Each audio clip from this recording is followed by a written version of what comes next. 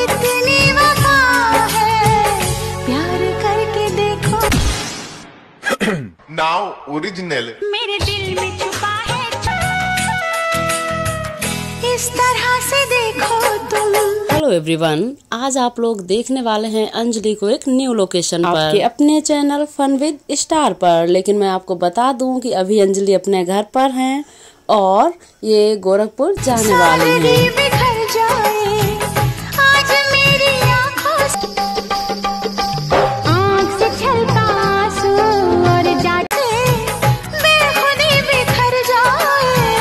चाँद जैसे। सो so friends और अंजलि के साथ साथ आप लोग देख रहे हैं यहाँ पर खुशी वर्मा को भी। मुखड़े पर चांदनी बिखर जाए। टपका शराब में दिल में चुभा जो कांटा। ज़िंदगी के चेहरे पर आशिकी बिखर जाए। दोस्तों आप लोगों को खुशी वर्मा की ये परफॉर्मेंस कैसी लग रही है?